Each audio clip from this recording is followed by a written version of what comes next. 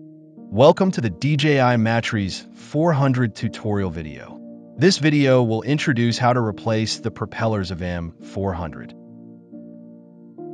Note, if the propellers are replaced by the user, the assembly may not meet official standards.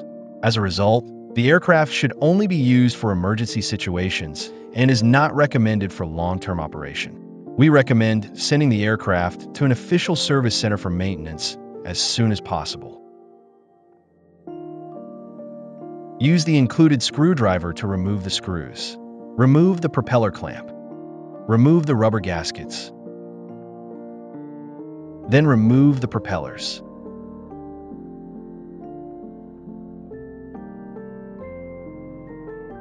Take out the propellers ensuring the yellow markings on the propellers match those on the motors.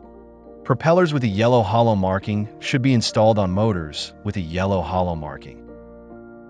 And those with a yellow solid marking should be installed on motors with a yellow solid marking.